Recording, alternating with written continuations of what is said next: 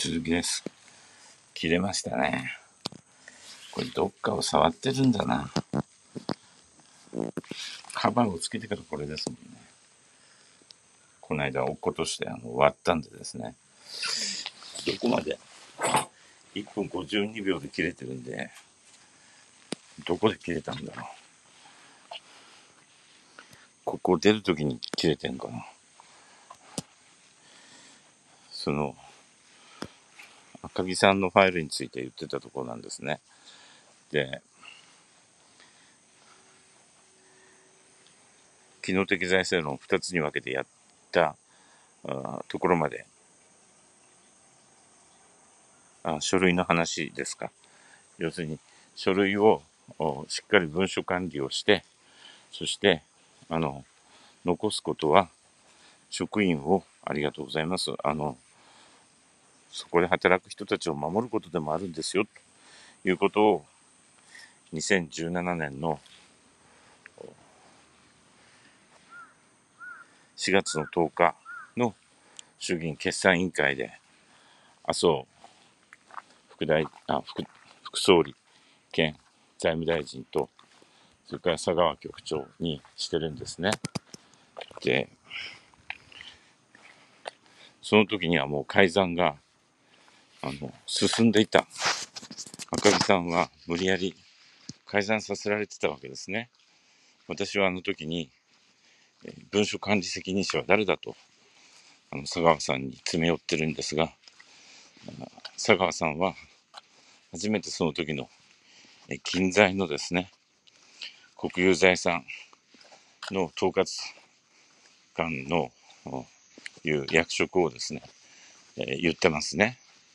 でも、すっごく変なんですよ。あの、ファイルがすぐ消えるとかいうシステム、そんなシステム聞いたことないんで、いつそれを入れたんだというと、前の日、その前の日、あの、私たちは国会質問で、レクチャーっていうのをやるんですね。自民党さんの場合は、私たちが政権の時そういうのもなくて、いきなりあの通告なしで質問とかいうのやってましたけど、それは役所の仕事をものすごく増やすから、あらかじめレクチャーっていうことをやるんですね。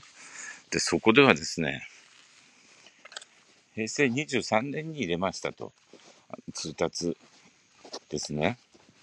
そのちゃんと、あの、随意契約とかで騙される人がいるから、近畿財務局の、あの、ホームページには、そういうことはありませんから、気をつけてくださいって書いてあるし、ちゃんと、後々まで検証できるように、文章を残しときなさいと。で、そのペーパーまでもらってたのに、いや、後で書き換えてますと。あの、それは一番最初に出した、あの、日付であって、通達を、その後新たに、えー、通達の上書きをしたのは、えー、今年の1月ですって佐川さん答弁してるんですよね。つまり2017年の1月に出してるから、森友の時にはそれはあの、ないんですと。だから、えー、交渉記録とかは、全部もう捨てちゃってありませんって。おはようございます。いうわけですね。いやとんでもない。あの、で、私本当にこう、恐ろしくなったのは、その時にこの人たちは赤木さんに無理無理、赤木さんたちにですね、解散を主導してるじゃないですか。それでよくあんな、イケシャーシャーとですね、言えるんだなっていう、それが恐ろしいですよね。この目の前にいる厄介な国会議員の質問を、その、かわせばもうあとはなんとかなると。思ってんじゃないかと思って、なんか、昨日は気持ちが悪くなりましたね。ゾッとしました。で、それとともに、あの時もっともっと、あの時ですね、麻生財務大臣は、いや、またこれやるのかと、ね、あの答弁が残ってますけど、この国会はずっとそればっかだった。予算というよりも、そういうスキャンダル追及でばっかりだったという言わんばかりのことを言ってるんですよ。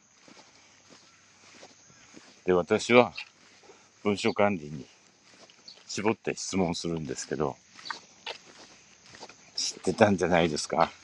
あの態度。しかも、あの、3000日を超える財務大臣ですよ。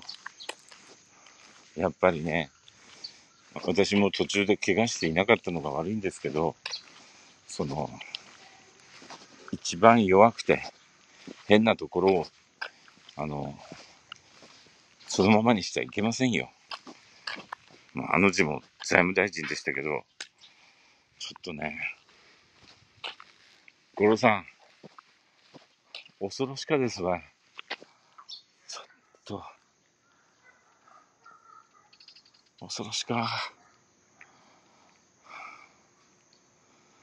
何するかわからん。ちょっと、本当に、こっちから入っちゃうか。ちゃんと、いや、麻生さんがあれかどうかわかりません、それは。あの、ただ、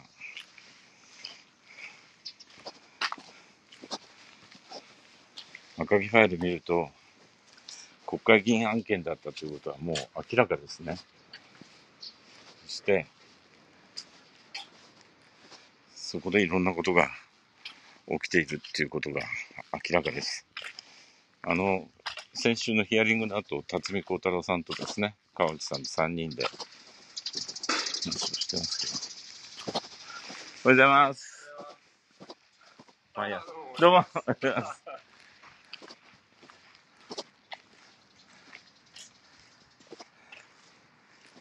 ね、マスクと帽子だから、目でバレて分かっていただいてありがたいです。うん、これ腰据えてやらんと、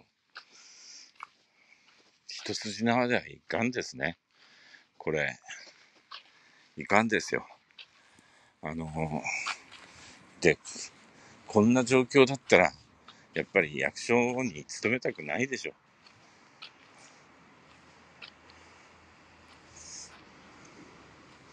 頑張らないかんですね。頑張らないかん。でも本当に恐ろしい。なんかゾーッとする。太郎さんおはようございます。今日はここまで来れましたばい。今日はですね、夜からずっと雨が降ってて、どうかなと思いましたけど、眠れない方、この太陽と、この太郎さんの聖なる木で、ね、邪気を払いましょう。邪気って言えば、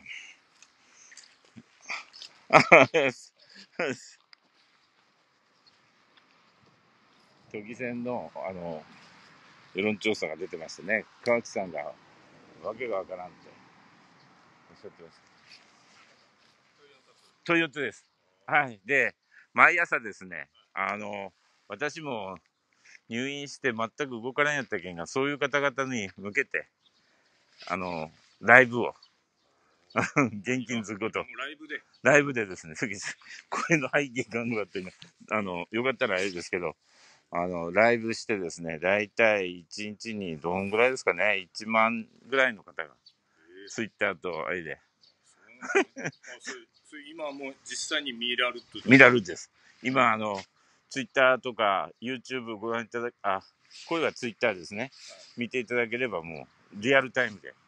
声が もう歩く放送局 おいでこれ、太郎さんって名前つけて、私、ケマが頃から、これ話しかけよったもんやけんが。はい。毎朝よう、あの、お参り少佐ですね。ああ、もう、ありがとうございます。やっぱり、いつもええあ、そうですか。それは同じです。私もここの氏子やけんが。はい僕あの、吉浦です。ですね。はいはい。もうお世話になりました。ありがとうございます。いや、ありがたいですね。毎朝こうやってお参りしていただいて。おばあちゃん同士が仲良しですね。佐賀帰ってきたな。でも佐賀帰ってきたら、佐賀帰ってきただけの、あの、現実？次はおそらく、まあ今のまま行くと、市長選とか市議選のダブルですもんね。そしたら圧倒的人が足りない、こっちは。うん。それをどうするか、今からずっとやっとかないかんですね。昨日も講演会の役員さんとあれしましたけど、こっちの現実を、もう東京の方にかまけすぎてるんで、あの、7月の上旬にはもう、あの整えてやらないかんですね。で、都議選のまたあれにも行きますんで、で、さっき、あの、お声かけていただく前に何を言おうとしてたかというと、あの、日曜日でね、あの、比例の投票先とかが出てますよね。で、それを見て、がっかりする必要全くないですからね。あの、私たちの公認候補、推薦候補、すごく頑張ってますし、あの、野党の、立憲野党の勢いは、これは健在です。で、世論調査は、あの、誰と誰が戦ってるかによっても全然違いますし、あの、ましてや前回は、私たち民主系はですね、5人まで、もうそれこそその、えー当時のブームにですね、ぶっ飛ばされる形で5人まで減ったんですね。で、それを2倍、3倍、4倍にできたら、それは勝利です。だから、この場を借りて全国の同志に言いたいのは、あの、そういうので心を折っちゃいダメです。私も何回もそう選挙やってきて、いい時ばかりじゃありません。負けてる時もあるんですよ、世論調査で。で、そんな時には、もうなんていうかな、毎日毎日がちょうど今日ぐらいが最初の辛さが来る日ですね。で、そうすると心が折れて声が暗くなってくんですよ。で、声が暗くなったら逆に言うともう、あの、ね、そういう暗い人にリーダーを任せようって暗くなった下を向いた人にね、暗い人っていうか暗くなって下を向いた人にリーダーを任せようなんて思いませんよね。だから、私たちはある意味、あの、人間、人生を送っていく中で、いろんな絶望や困難に出会います。で、人を絶望させないっていうことは、自分も絶望しないっていうことです。マックス・エーバーのあの、それでもと言えるものだけが、政治家、リーダーとしての資格を持つんだっていうのは、あれは資源ですね。えーマックス・ウェーバーの職業としての政治。学生の頃はあれも原文で読んで、まあいい機会をもらったなと思います。やっぱり、ちょっとニュアンスが違うんですよね。日本語で読んだ時と。で、日本の哲学にもいっぱいいいものがあります。日本を明るくあったかい日本に取り戻すためにですね、頑張っていきましょう。おっと。よいしょ。太郎さん。よかったですね。どっさりいろんな方が、あの、お参りしよんさですね。うんちょっと頑張らんばいかん。頑張らんばいかんぞ。これは結構恐ろしかぞ。じゃあ皆さん、これで A を閉じます。ね、邪気を払って力をください。困難に立ち向かう勇気をください。ということで、今週も頑張っていきましょう。それじゃあ、皆さん、ごきげんよう。良い一日をありがとうございます。うん。負けへんで、負けない。それが大事ですね。どんなに苦しくても、まっすぐやっていけば、日々を積み重ねていけば、必ず通じる、そういう時が来ます。頑張りましょう。